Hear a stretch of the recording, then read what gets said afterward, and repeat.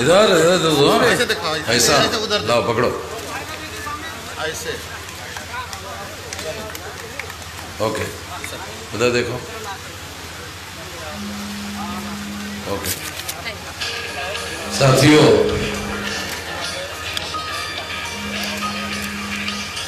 आज बहुजन क्रांति मोर्चा के द्वारा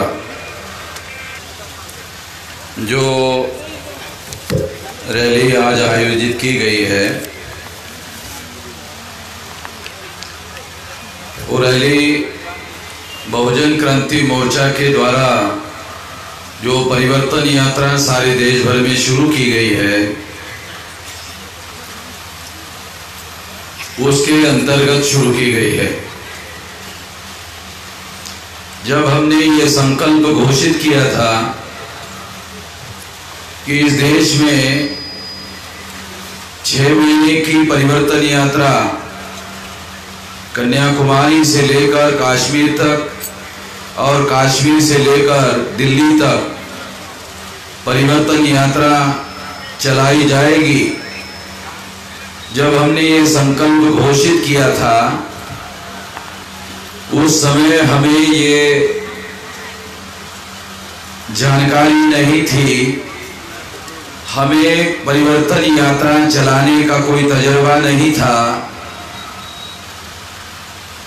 तजर्बा ना होने की वजह से हम लोगों ने तजर्बा हासिल करने के लिए, अनुभव हासिल करने के लिए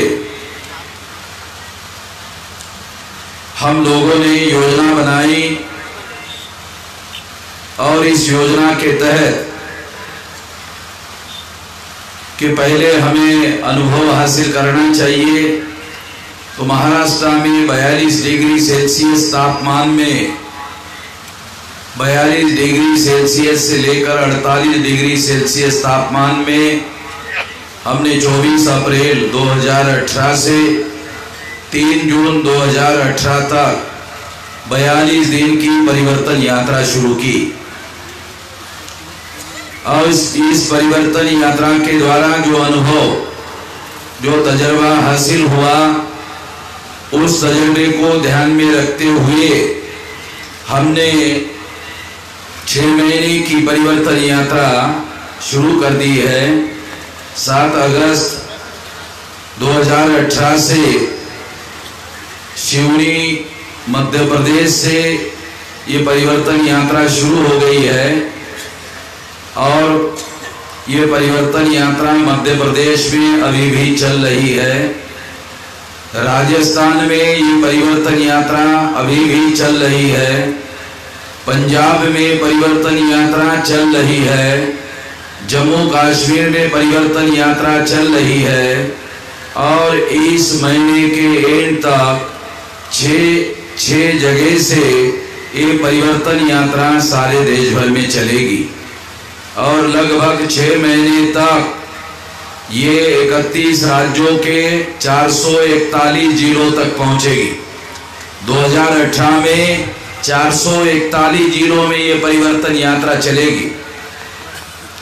आज़ाद भारत में ऐसी कोई परिवर्तन यात्रा मजलूम लोगों के द्वारा, पिछड़े लोगों के द्वारा, आदिवासियों के द्वारा घुमंतु लोगों के द्वारा आज तक नहीं निकाली गई है। क्योंकि इतनी बड़ी परिवर्तन यात्रा, देशव्यापी परिवर्तन यात्रा निकालने के लिए देशव्यापी संगठन की ज़रूरत होती है। हमारे पास 31 राज्यों में, पाँच जिलों में, साढ़े तीन हज़ार तहसीलों में, बाईस हज़ार ब्लॉक में और डेढ़ लाख गाँव में फैला हुआ संगठन है। इस संगठन के आधार पर हम लोगों ने ये परिवर्तन यात्रा निकाली। ये संगठन यूनिक टाइप का संगठन है। जब हमने महाराष्ट्र में बयालीस दिन की परिवर्तन यात्रा निकाली तो आप लोग सुनकर हैरान हो जाओगे कि इस परिवर्तन यात्रा का सारा खर्चा समाज के लोगों ने उठाया। नाश्ते से लेकर, खाने से लेकर रात में रुकने से लेकर सारी व्यवस्था समाज के लोगों ने की और 42 दिन में 45 लाख रुपए का निधि लोगों ने दिया और वो राष्ट्रव्यापी आंदोलन निर्माण निधि भी हमने जमा किया। हमारा संगठन का एक नया पैसा खर्चा नहीं हुआ। ये संगठन इस तरह से हमने सारे देश भर में बनाया है यूनिक टाइप का, कि सारा खर्चा लोग ही उठा रहे।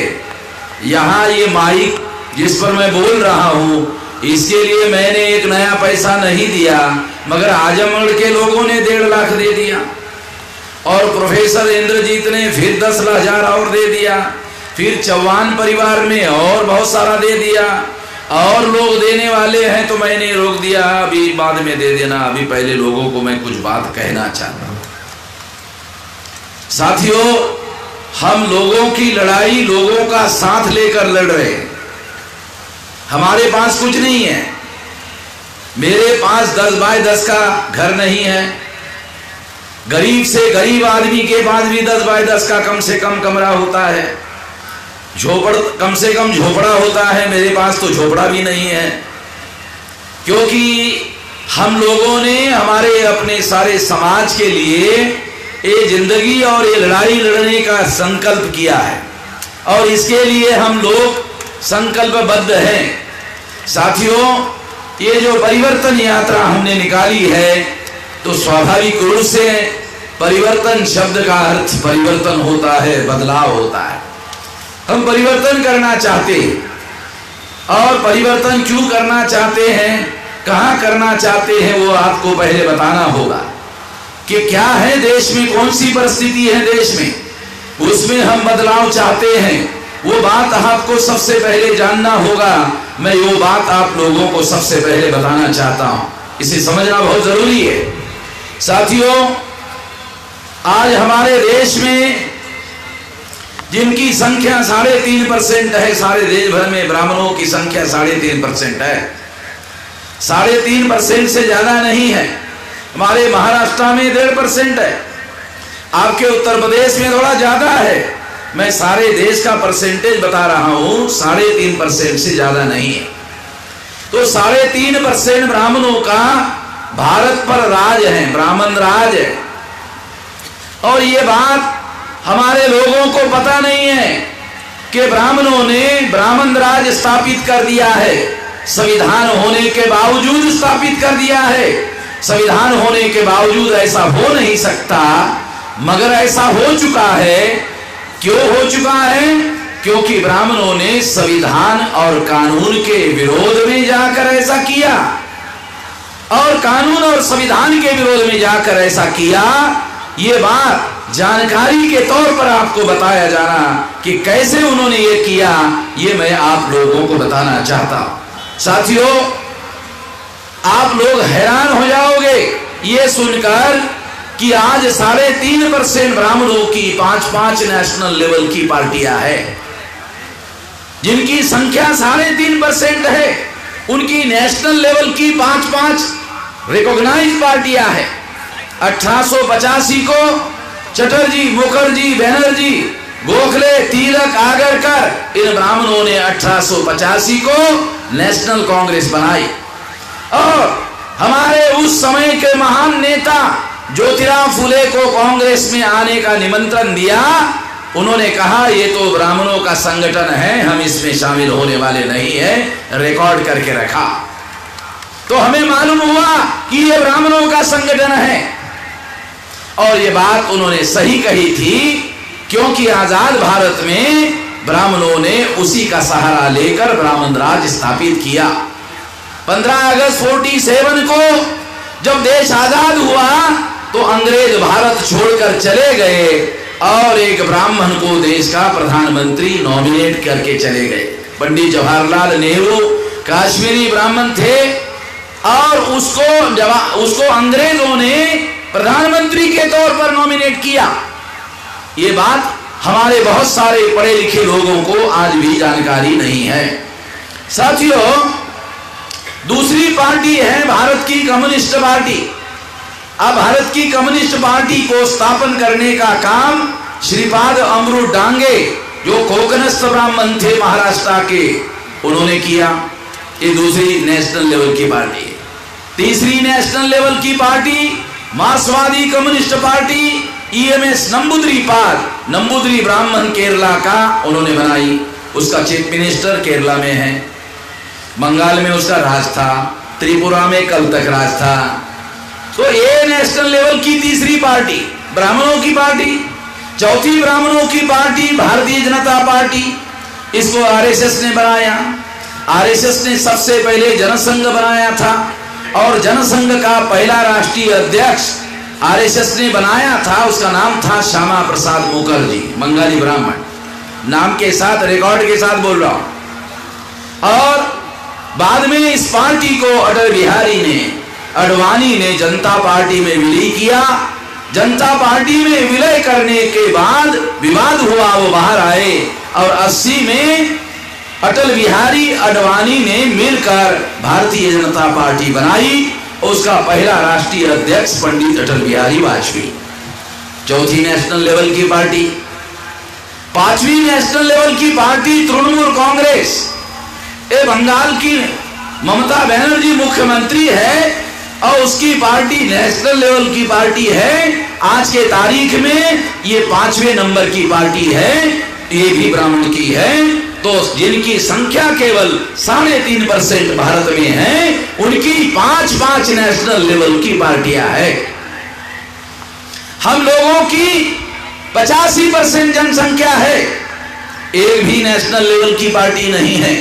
बहुजन समाज पार्टी काशीराम जी ने बनाई थी। अब चुनाव आयोग ने नोटिस दिया मायावती को कि आपका वोट परसेंटेज घट गया है, आपका नेशनल स्टेटस पार्टी का रद्द क्यों नहीं किया जाए? शरद पवार को भी इसी तरह की नोटिस दी गई। जो दो पार्टियाँ नेशनल लेवल की बहुजनों की थी, वो भी रद्द करने का नोटिस इश्यू हुआ है। तो हम मानकर चलते हैं, ये आज नहीं तो कल रद्द हो जाएगा। तो इसे सिद्ध होता है कि पाँच ही पार्टियाँ बची रहेगी और वो पाँच पार्टियाँ नेशनल लेवल की अकेले ब्राह्मणों की है।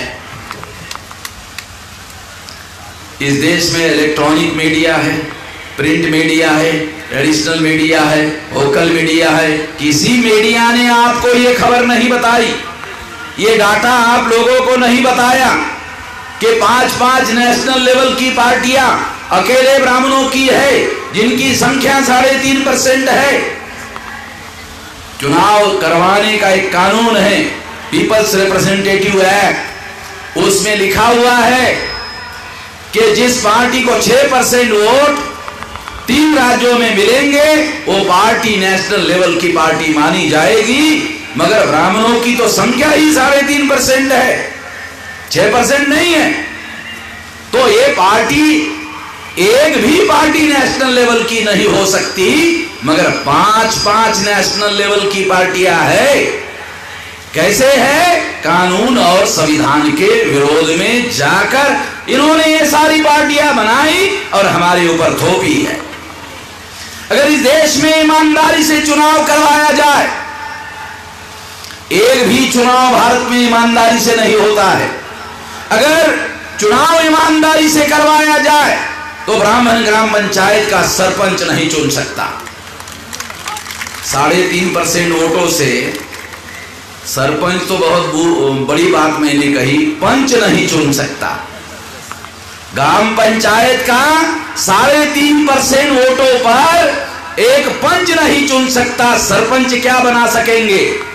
जो इस देश में ईमानदारी से चुना हुआ तो सरपंच नहीं बना सकते, वो देश की पंचायत का प्रधानमंत्री बना रहे हैं। तो ये कानून और संविधान के विरोध में जाकर बना रहे हैं। ये बात साथियों, हम लोगों को समझना होगा।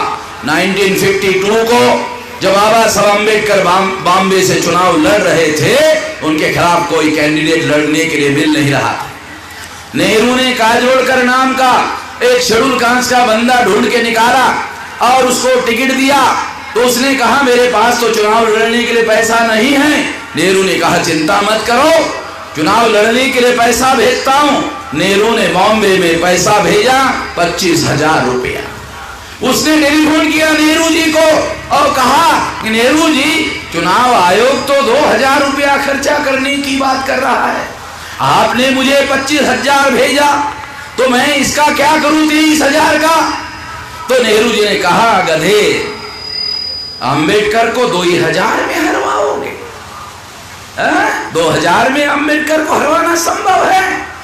कानून के आधार पर अंबेडकर को हराना संभव नहीं है। उसको दूसरे तरीके से हरवाया जा सकता है, ईमानदारी से नहीं हरवाया जा सकता। इसलिए कहा कि तुम नहीं खर्चा कर सकते हो हमारे। पार्टी के अकाउंट में जमा कर दो, हम देख लेंगे।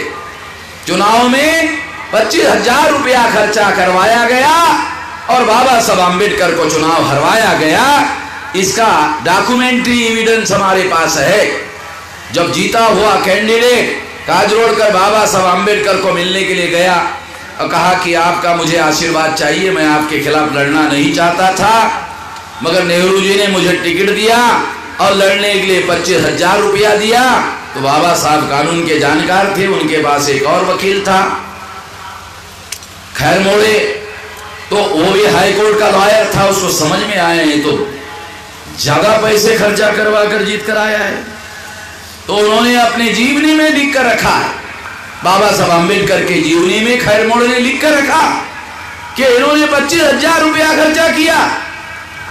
इसका मतलब है नेहरू ने पहले चुनाव से भ्रष्टाचार के आधार पर चुनाव जीता ये बात इस बात का सबूत है। इसके आधार पर यह बात बोल रहा हूँ कि इन लोगों ने कानून और संविधान के विरोध में जाकर आज पाँच पाँच नेशनल लेवल की पार्टियाँ बनाई है। और यही पाँच पाँच नेशनल लेवल की पार्टियाँ है जिनके सहारे पर, जिनके आधार पर ब्राह्मणों ने ब्राह्मण राज भारत में स्थापित कर दिया। आप लोग सोचते होंगे कि आप कह रहे हो, ब्राह्मण, राज ब्राह्मणों ने स्थापित कर दिया। इसका क्या सबूत है? चलो इसका भी सबूत दे देता हूँ। मैं इस बगैर सबूत के कोई बात नहीं करता हूँ। जब चुनाव होता है तो चुनाव में क्या होता है? जब कांग्रेस चुनाव हारती है तो बीजेपी चुनाव जीतती है। जब बीजेपी चुनाव हारती है तो कांग्रेस चुनाव जीतती है। कांग्रेस पार्टी ब्राह्मणों की, बीजेपी पार्टी ब्राह्मणों की। एक ब्राह्मण की पार्टी हारती है तो दूसरी ब्राह्मण की पार्टी सत्ता में आती है। ए नाम का ब्राह्मण जाता है, बी नाम का ब्राह्मण फिर खुर्चे में जाके बैठता है। इसका मतलब क्या है? ब्राह्मण जाएगा, दूसरा ब्राह्मण आएगा। यानी मिश्रा जाएगा तो त्रिवेदी आएगा। त्रिवेदी जाएगा तो पाठक आएगा। त्रिवेदी आएगा तो पाठक जाएगा। पाठक आएगा तो चतुर्वेदी आएगा। तो ब्राह्मण का राज स्थापन हो गया है। हमारे लोगों को पता नहीं है। कुछ लोगों ने मुझे कहा विश्राम जी, आप सही बात नहीं बता रहे। मैंने कहा क्या नहीं बता रहा हूँ कि 2004 में अटल बिहारी ब्राह्मण थे चुनाव हार गए तो कांग्रेस ने प्रधानमंत्री बनाया मनमोहन सिंह को। मनमोहन सिंह ब्राह्मण नहीं थे। आप कैसा कह रहे मैंने कहा हाँ, ये बात सही कह रहे हो आप मगर आपको जो जानकारी नहीं है वो सुन लो। ए मनमोहन सिंह सरदार थे बात सही है मगर इसको सही प्रधानमंत्री नहीं था, ए नॉमिनेटेड प्राइम मिनिस्टर था। ए मनमोहन सिंह जो था, ए नॉमिनेटेड प्राइम मिनिस्टर था। क्या is a nominated prime minister of India and nominated by prime minister and those who nominate ब्राह्मणों ने नॉमिनेट किया। एंड दोज हु नॉमिनेट ब्राह्मणों ने नॉमिनेट किया तो जो नॉमिनेट करता है, सत्ता उसकी होती है। जिसको नॉमिनेट किया जाता है, उसकी सत्ता नहीं होती है। इसलिए मैं आपको बताता हूँ, उसको मैंने कहा कि मनमोहन सिंह ने 67 जीओएम बनाए। ग्रुप ऑफ़ मिनिस्टर्स कमेटी उसमें 63 ग्रुप ऑफ़ मिनिस्टर कमेटी के चेयरमैन अकेले प्रणब मुखर्जी, बंगाली ब्राह्मण थे और सारे बड़े पॉलिटिकल फैसले प्रणब मुखर्जी ने लिए। और इसका मतलब यह है कि रियल प्राइम मिनिस्टर पर्दे के पीछे प्रणब मुखर्जी थे। और दुनिया को दिखाने के लिए मनमोहन सिंह को ब्राह्मणों ने रखा था। फिर उसने मुझे कहा कि नरेंद्र मोदी भी ब्राह्मण नहीं है। मैंने कहा, सुन लो, नरेंद्र मोदी का भी सुन लो। ये नरेंद्र मोदी बैकवर्ड है। नरेंद्र मोदी को आरएसएस ने बनाया। आरएसएस के सारे के सारे नेशनल एग्जीक्यूटिव में ब्राह्मण हैं। ब्राह्मणों ने नरेंद्र मोदी को नॉमिनेट किया। ब्राह्मणों ने नरेंद्र मोदी को नॉमिनेट किया। इसलिए ये नॉमिनेटेड प्राइम मिनिस्टर है, ये रियल प्राइम मिनिस्टर नहीं है। ये ब्राह्मणों के द्वारा नॉमिनेटेड है। नॉमिनेटेड अंग्रेज़ी शब्द है। आपको समझ में नहीं आ रहा है। मैं थोड़ा आपको देसी भाषा में बताता हूँ तो आपको जल्दी समझ में आ जाएगा। मैं देहाती आदमी हूँ तो देहाती उदाहरण से बताता हूँ और पहले महिलाओं से थोड़ा माफ़ी माँगता हूँ, क्योंकि उदाहरण देना पड़ेगा इसलिए। गाँव देहात में एक आदमी पूछता है, भाई ये ये कौन है? कहा कि ये मेरी शादीशुदा बीवी है। ये शादी करके मैंने लाया। ये ऐसे रखा हुआ कौन है ये शादीशुदा है। शादी करके लाया। ये ऐसे रखा हुआ है। ये नरेंद्र मोदी ब्राह्मणों का ऐसे रखा हुआ नॉमिनेटेड कह रहा था, किसी के समझ में नहीं आ रहा। तो देहाती उदाहरण दिया। देहाती ना लोग है हमारे। देहाती उदाहरण एकदम जल्दी समझ में आ जाता है। तो ये ऐसी सिचुएशन है। ये नरेंद्र मोदी, ब्राह्मणों रखा हुआ है। और सबूत चाहिए? लो सबूत। सबूत नंबर एक। जब ये प्रधानमंत्री बना तो नरेंद्र मोदी ने पहला निर्णय लिया, ओबीसी की जाति आधारित गिनती नहीं होगी। ओबीसी का आदमी, पिछड़े वर्ग का आदमी, खुद ही पिछड़े वर्ग का है और पिछड़े वर्ग के विरोध में फैसला कर रहा है। पहला फैसला नॉमिनेटेड होने का। सबूत, दूसरा सबूत 314 बच्चे पिछड़े वर्ग के आईएएस और आईआरएस पास हुए। जब नरेंद्र मोदी के पास फ़ाइल गई तो एक भी बच्चे को पोस्टिंग नहीं दिया, फ़ाइल रद्द कर दिया। दूसरा फैसला, नरेंद्र मोदी ने तीसरा फैसला लिया, ओबीसी का जो कमीशन था, पिछड़ा वर्ग कमीशन, रद्द कर दिया था। जब हम लोगों ने हंगामा किया देश भर में तो नरेंद्र मोदी ने फिर दोबारा पार्लियामेंट में कानून बनाकर कहा कि ये अब संवैधानिक दर्जा हमने दिया इसको। तो हमने कहा, शेड्यूल कास्ट के लोगों को, शेड्यूल कास्ट का कमीशन था, उसको संवैधानिक दर्जा पहले से दिया हुआ है। शेड्यूल ट्राइब का कमीशन है, उसको भी संवैधानिक दर्जा पहले से दिया हुआ है। जिनको पहले से दिया हुआ है संवैधानिक दर्जा, उनको कोई कुत्ता नहीं पूछ रहा है। और अगर दो चार कुत्ते पूछ भी ले तो कुत्ते को वोट का अधिकार नहीं होता। मान लो दो चार कुत्ते पूछ ले तो कुत्ता अठारह साल तक जीवित नहीं रहता। अठारह साल होने के बाद ही वोट का अधिकार मिलता। बहुत कम कुत्ते अठारह साल जीवित रहते होंगे। मेरे जानकारी में नहीं है कि कुत्ता अठारह साल जीवित रहता है। वो छह सात साल में ही मर जाता है और अठारह साल के बगैर वोट का अधिकार मिलता नहीं है। तो जब एस सी के कमीशन को कोई कुत्ता नहीं पूछता, संवैधानिक दर्जा होने के बावजूद भी तो पिछड़े वर्ग के कमीशन को संवैधानिक दर्जा देने से वो भी नॉमिनेटेड होगा ब्राह्मणों का, वो भी ऐसे ही रखा हुआ कोई पिछड़ा। कोई पिछड़े वर्ग का आदमी जब वो नरेंद्र मोदी प्रधानमंत्री को नॉमिनेट कर सकते हैं तो कमीशन का चेयरमैन नॉमिनेट नहीं कर सकते। ये तो सामान्य बात है। ये निर्णय उन्होंने दिया अभी साढ़े चार साल से ज़्यादा समय हो गया, नरेंद्र मोदी ने पिछड़े वर्ग के लोगों के लिए विकास करने के लिए नया पैसा बजट नहीं दिया। एक नया पैसा नहीं दिया।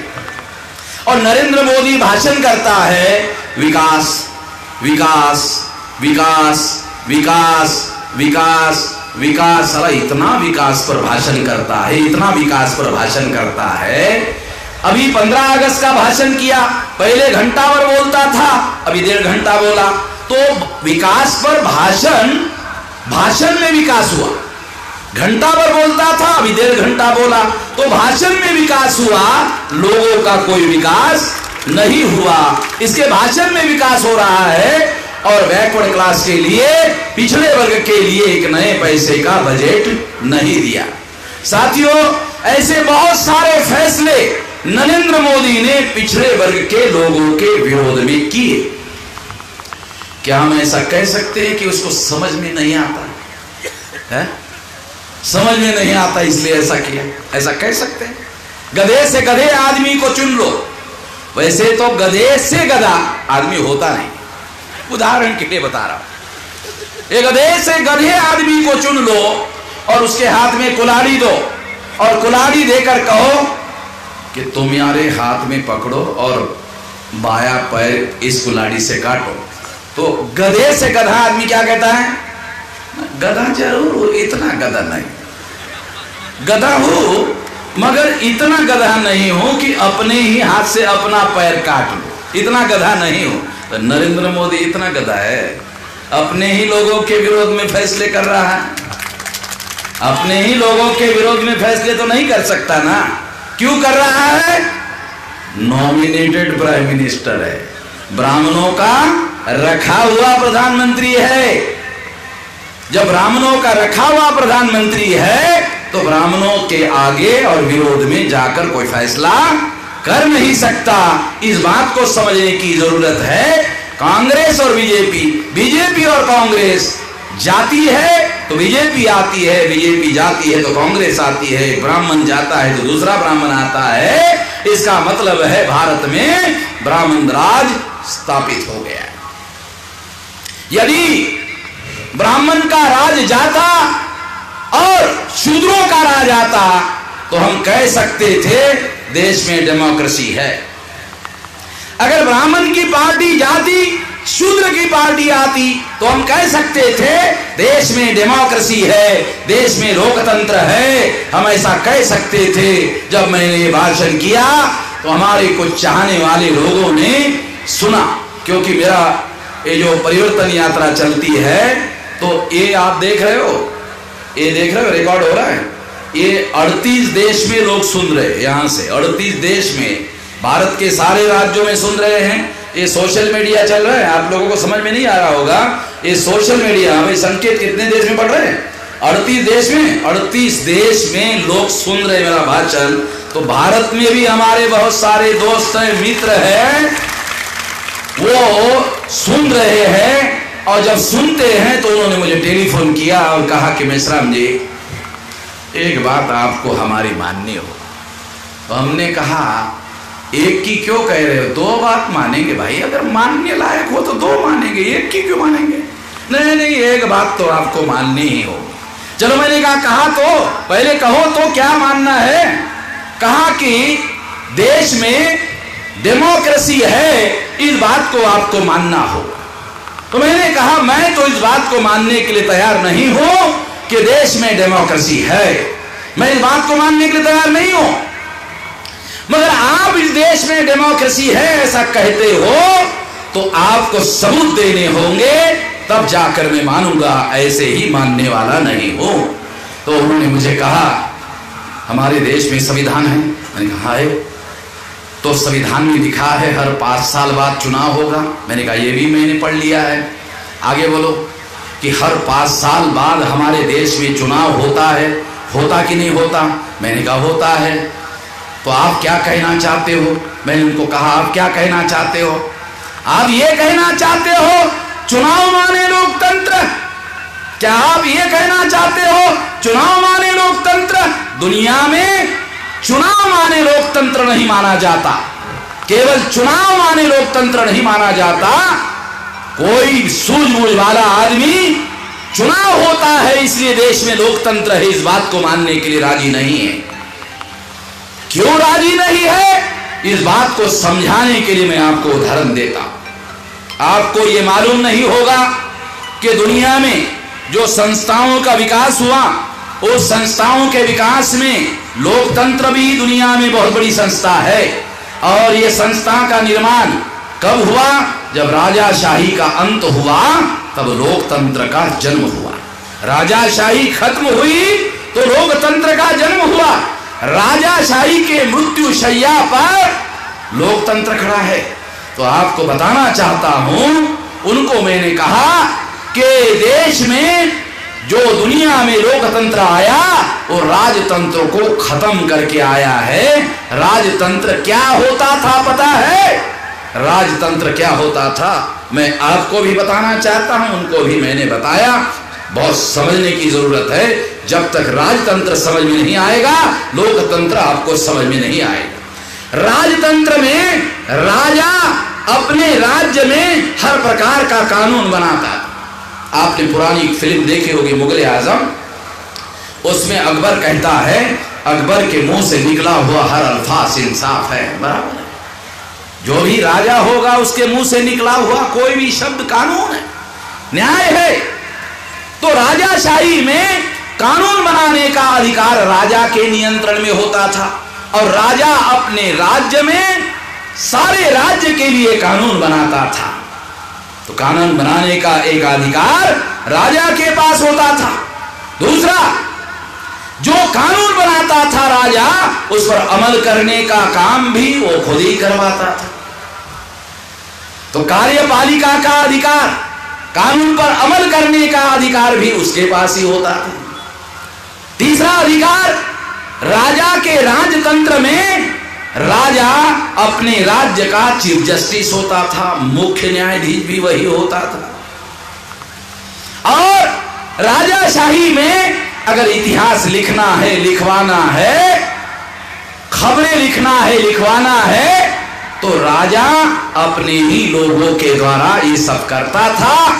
तो दुनिया में सबसे महत्वपूर्ण जो काम होते थे, वो सारे महत्वपूर्ण काम अकेले राजा करता, करवाता था।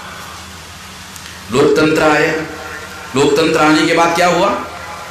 राजा का पहला अधिकार कानून बनाने का अधिकार इलेक्टेड रिप्रेजेंटेटिव को दिया गया। चुने हुए प्रतिनिधि एमएलए और एमपी को कानून बनाने का अधिकार दिया गया। इस तरह से राजा का अधिकार लोकतंत्र में लोक प्रतिनिधित्व को मिला। ये चुने हुए प्रतिनिधि होते हैं। दूसरा, इनको कानून बनाने का अधिकार और कानून पर अमल करने के लिए अगर हमारे देश के लोकतंत्र का उदाहरण दिया जाए, संविधान का उदाहरण दिया जाए तो union public service commission examination लेती है और उसमें पास हुआ आदमी मेरिट में आईएएस, आईपीएस, आईआरएस अधिकारी बनता है और उसके द्वारा कानून पर अमल करवाया जाता है। तो कानून पर अमल करने के लिए अलग लोगों की व्यवस्था लोकतंत्र में की जाती है। और उसको ट्रेनिंग दिया जाता है। क्या ट्रेनिंग दिया जाता है? कि लोकतंत्र कानून का राज होगा। राजा बोले, वो कानून नहीं होगा। कानून लिखा हुआ होगा और कानून के अनुसार राज चलेगा। मंत्री अगर I S I P S I R S आदेश देगा कानून के विरोध में तो I S I P S I R S अधिकारी के पास अधिकार होगा कि वो मंत्री की बात को ना माने। एक training I S I P S I R S को दिया जाता है। क्यों? क्योंकि लोकतंत्र कानून का राज होता है। इसलिए ये अधिकार इन लोगों को दिया गया है। तीसरा अधिकार, न्यायपालिका का। ये न्यायपालिका सरकार के अधीन नहीं होती है, जैसे राजाशाही में होती। ये स्वतंत्र होती है एटोनॉमस होती है, और जो न्याय हाई कोर्ट और सुप्रीम कोर्ट है ये राज्य और केंद्र सरकार के विरोध में फैसले देती है, दे रही है। आप लोग देखते हो, न्यायपालिका सेंट्रल गवर्नमेंट के नियंत्रण में नहीं, जैसे राजाशाही में राजा के नियंत्रण में होते। चौथा, आर्टिकल 19 के तहत भारत के संविधान के अनुसार, freedom of speech and freedom of expression के तहत मीडिया निर्माण किया गया। और इस मीडिया को स्वतंत्र खबरें और स्वतंत्र बातें लिखने का अधिकार दिया गया, वो भी भारत सरकार के अधीन नहीं है। इसका मतलब यह है राजाशाही के अंत होने के बाद जो लोकतंत्र आया, वो सत्ता के विभाजन पर खड़ा है। एक सत्ता कानून बनाने की इलेक्टेड रिप्रेजेंटेटिव को दी गई। कानून पर अमल करने की सत्ता एग्जामिनेशन देकर जो परीक्षा पास करता, उसको दी गई। तीसरी सत्ता न्यायपालिका की जो हाई कोर्ट और सुप्रीम कोर्ट न्यायालय है, उसको दी गई। और खबरें लिखने या इतिहास लिखने की ज़िम्मेदारी वो भी स्वतंत्र है, वो किसी सरकार के अधीन नहीं है। इसका मतलब है, लोकतंत्र सत्ता के विभाजन के सिद्धांत पर खड़ा है। बहुत लोगों को, हमारे भी लोगों को केवल इतना मालूम है कि चुनाव माने लोकतंत्र। चुनाव माने लोकतंत्र नहीं है। लोकतंत्र क्या है? लोकतंत्र सत्ता के विभाजन पर खड़ा है और एकाधिकार के विरोध में खड़ा है और रूल ऑफ़ लॉ कानून का राज है। अब इस सिद्धांत के आधार पर भारत में क्या चल रहा है, थोड़ा बता 2009 में चुनाव हुआ और 375 सीटों पर ब्राह्मणों के पार्टी का कब्जा हुआ। चुनाव आयोग के आंकड़े बता रहा हूँ। और जो आंकड़े बता रहा हूँ वेरीफाई कर लेना चुनाव आयोग के पास। नंबर दो कार्यपालिका मैं 2016 में शरद जी के घर में गया, वो उस समय राज्यसभा के मेंबर थे, उन्होंने मंत्री को सवाल पूछा। और शरद जी ने मुझे वो कागज़ दिखाया, उस कागज़ में लिखा था 79.2 परसेंट प्रथम श्रेणी के अधिकारी ब्राह्मण और तत्सम ऊँचे जाति के होंगे। जो 20 percent S C S T OBC, minority के अधिकारी I S I P S I R S है, वो भी पंडित जी का चेहरा देखकर फैसले करते हैं कि कहीं मेरे फैसले से पंडित जी नाराज़ तो नहीं हो रहे। तो ये आंकड़े 80 परसेंट के हैं, मगर व्यवहार में 100 परसेंट है। क्योंकि हमारे अधिकारी स्वतंत्र रूप से कोई फैसले करते नहीं। तो इस तरह से कार्यपालिका उनके नियंत्रण में, विधायिका उनके नियंत्रण में, न्यायपालिका 97 परसेंट हाईकोर्ट और सुप्रीम कोर्ट के जो जज है, ब्राह्मण और तत्सम ऊँचे जाति के, दीपक मिश्रा, भारत के चीफ जस्टिस, चार चार जजेस ने उसके खिलाफ कंप्लेन किया, मगर वो अपने मनमानी तरीके से जो करना चाहता है, कर रहा है। तो उनके नियंत्रण में जुडिशियरी भी उनके नियंत्रण में। मीडिया दिल्ली में योगेंद्र यादव ने सर्वे किया।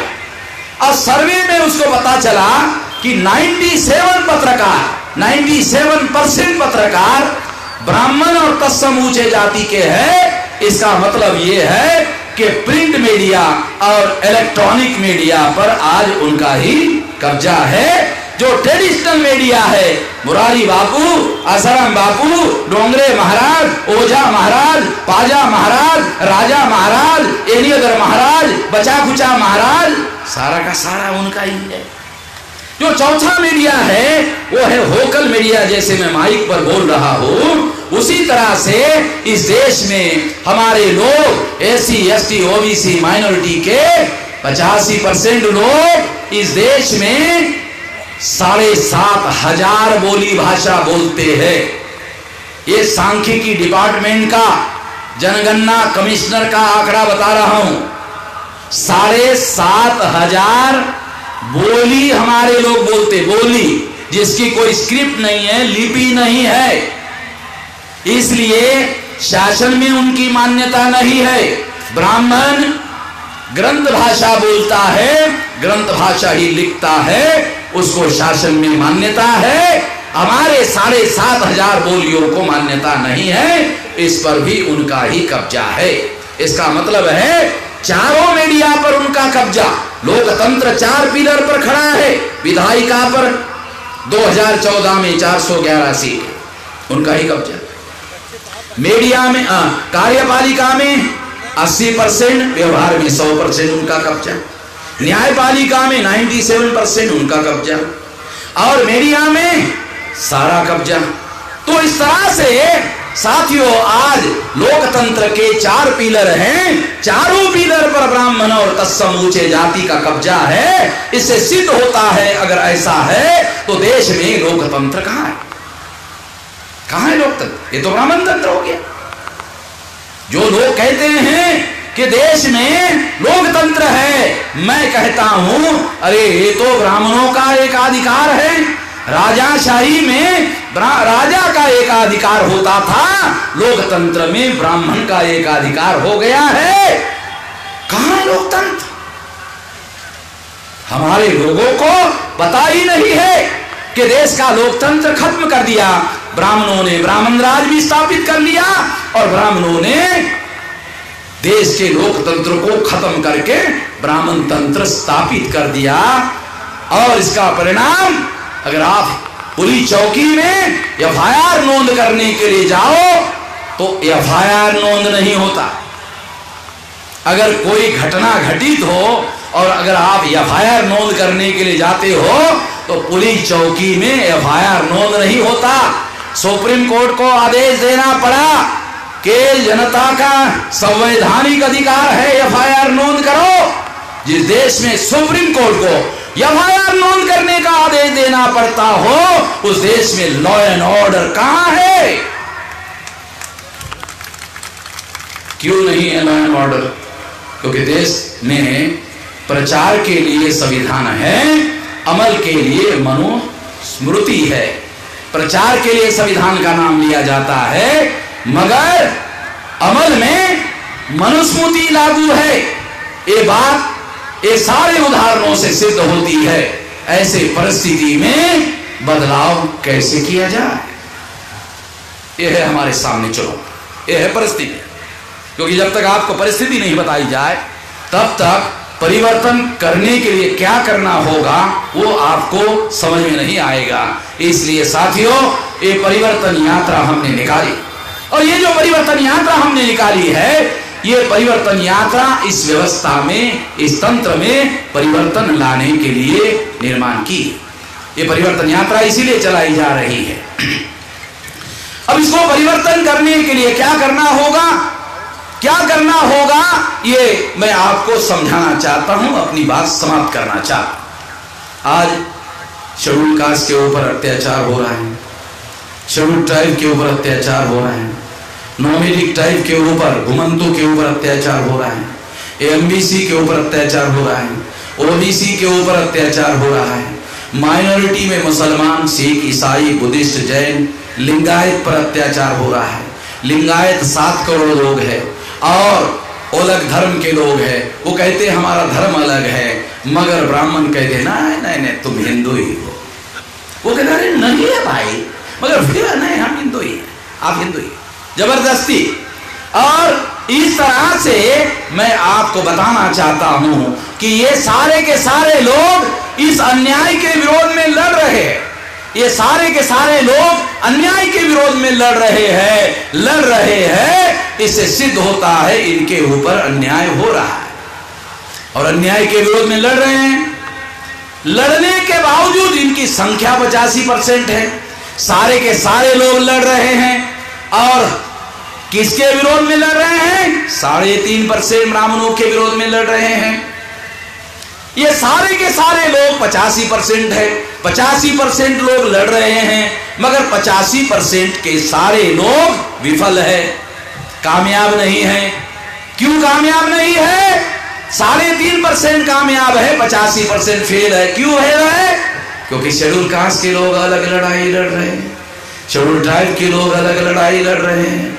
नॉमिनिक टाइप के लोग अलग लड़ाई लड़ रहे हैं। एमबीसी के लोग अलग लड़ाई लड़ रहे हैं। ओबीसी के लोग अलग लड़ाई लड़ रहे हैं। मुसलमान अलग लड़ाई लड़ रहे हैं। क्रिश्चियन अलग लड़ाई लड़ रहे हैं। जैन बुद्धिस्ट अलग लड़ाई लड़ रहे हैं। क्रिश्चियन अलग लड़ाई लड़ रहे हैं। लिंगायत अलग लड़ाई लड़ रहे हैं। सरना धर्मी अलग लड़ाई लड़ रहे हैं। गोडी धर्मी अलग लड़ाई लड़ रहे हैं। सारे के सारे अलग अलग अलग अलग अलग अलग अलग अलग अलग अलग लड़ रहे हैं। इसलिए इनकी पिटाई हो रही। इनकी पिटाई क्यों हो रही है? ये लोग अलग अलग अलग अलग अलग अलग लड़ रहे हैं। इसलिए इनकी पिटाई हो रही है। अगर अलग अलग लड़ने से इनकी पिटाई हो रही है, साढ़े तीन परसेंट ब्राह्मण इनकी पिटाई कर रहा है। साढ़े तीन परसेंट, पचासी परसेंट की पिटाई कर नहीं सकता, कर रहा है। क्यों कर रहा है? क्योंकि ब्राह्मण केवल ब्राह्मण नहीं है। ब्राह्मण भारत का शासक वर्ग है। 14 अगस्त 47 तक भारत में अंग्रेज़ शासक वर्ग था। 15 अगस्त 47 से भारत में ब्राह्मण भारत का शासक वर्ग है। चुनाव होता है। सत्ताधारी पार्टी में परिवर्तन होता है। मगर शासक वर्ग ब्राह्मण में परिवर्तन नहीं होता है। ए नाम का ब्राह्मण जाता है तो बी नाम का ब्राह्मण आता है। ब्राह्मण राज परमानेंट कायम हो गया है और लोकतंत्र और संविधान होने के बावजूद भी हो गया है। ब्राह्मण शासक वर्ग है, उसके नियंत्रण में मिलिट्री है, उसके नियंत्रण में पैरामिलिट्री है, उसके नियंत्रण में बीएसएफ है एसआरपी है सीआरपी है, पुलिस है, उनकी मदद से हमारी पिटाई करता है। ब्राह्मण सामने आकर पिटाई नहीं करता है, इनकी मदद से हमारी पिटाई करता है। अन्यथा साढ़े तीन परसेंट ब्राह्मण हमारी पिटाई नहीं कर सकते, मगर पुलिस उनके नियंत्रण में है। पुलिस के नियंत्रण से वो हमारी पिटाई कर रहा है, करवा रहा है। अब ये जो पिटाई कर रहा है, करवा रहा है तो हम अलग अलग लड़ग अलग लड़ रहे हैं, इसलिए हमारी पिटाई करवा रहा है। यदि S C S T OBC, minority ये सारे लोग इकट्ठा हो जाए, अगर इकट्ठा हो गए तो ये लोग इकट्ठा होने के बाद ये लोग ब्राह्मणों की पिटाई करने लायक हो सकते हैं। अगर ये सारे इकट्ठा हो जाए, पचासी परसेंट इकट्ठा हो जाए तो इकट्ठा होने के बाद ये लोग ब्राह्मणों की पिटाई करने लायक हो सकते हैं। मगर हमें इसलिए इकट्ठा नहीं होना है कि हमें इन लोगों की पिटाई करना है। क्योंकि यदि हम लोग आज कह रहे हैं, ब्राह्मण जालिम है, क्योंकि वो हमारी पिटाई कर रहा है। कल हम इकट्ठा हो जाएँगे और इकट्ठा होकर उनकी पिटाई करेंगे तो कल ब्राह्मण हमको कहेगा, ए लोग जालिम लोग इसलिए हमें इकट्ठा ज़रूर होना है। मगर किसी पर अत्याचार करने के लिए इकट्ठा नहीं होना है। तो दुनिया में इंसाफ कायम करने के लिए और संविधान में बाबा साहब अंबेडकर ने लिखा, समता, स्वतंत्रता, बंधुता और न्याय पर आधारित समाज और राष्ट्र का निर्माण करने के लिए हमें इकट्ठा होना है। ऐसा इकट्ठा होकर हमें ये चतुसूत्री का समता, स्वतंत्रता, बंधुता और न्याय पर आधारित समाज का निर्माण करना है। इसके लिए इकट्ठा होना है। इसके लिए इकट्ठा करने के लिए ये परिवर्तन यात्रा निकाली गई है। ये परिवर्तन यात्रा में जो छोटे छोटे संगठन हैं, जो माइक्रो संगठन हैं, जो मध्यम दर्जे के संगठन हैं, जो बड़े संगठन हैं, चाहे S C S T OBC, minority के हो, सभी संगठनाओं के लोगों से बातचीत करो, समझाओ, तुम लड़ रहे हो, मगर कामयाब नहीं है, मिलजुल कर लड़ना होगा। मिलजुल कर लड़ने के लड़ने से हम कामयाब हो सकते हैं, ऐसा करना होगा, ऐसा करने के लिए आप साथ सहयोग करोगे। इस आशा और विश्वास के साथ आपने मेरी बात ध्यान से सुनी, इसके लिए आभार, धन्यवाद।